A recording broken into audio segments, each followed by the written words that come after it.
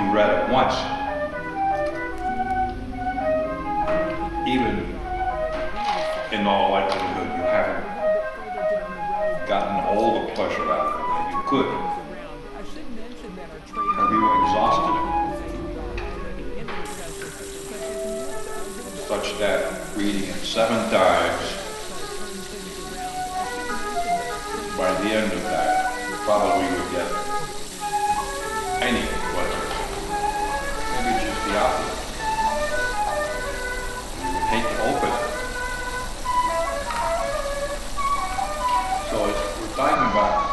certain kind of consumption.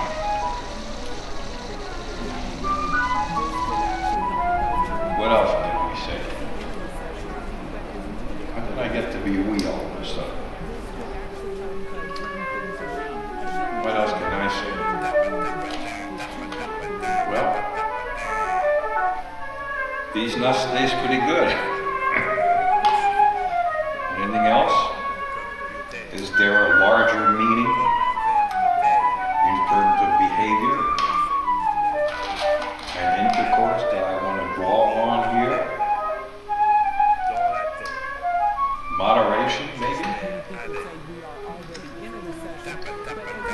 The old Greek myth. Moderation for you, but not for me. Yeah. I'm bringing in other elements here that maybe are not logical parts of this conversation. Then again, maybe they are.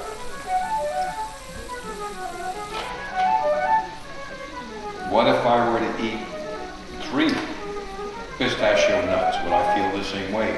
Or 30? Or what if I were to eat one, then 10, then 3, then 8, and 2? Would I conclude the same? Would I come to the same conclusion? Or not? And what if I had eaten a thousand? Would I want to eat one more? Tricky questions.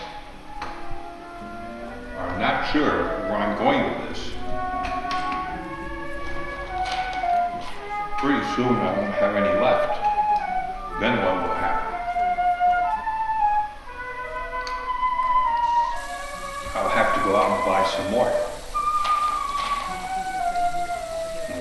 the anticipation? The anticipation of pleasure in eating one. Will that play a role